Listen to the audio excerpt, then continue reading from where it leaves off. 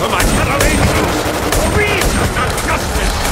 And then he made you, his.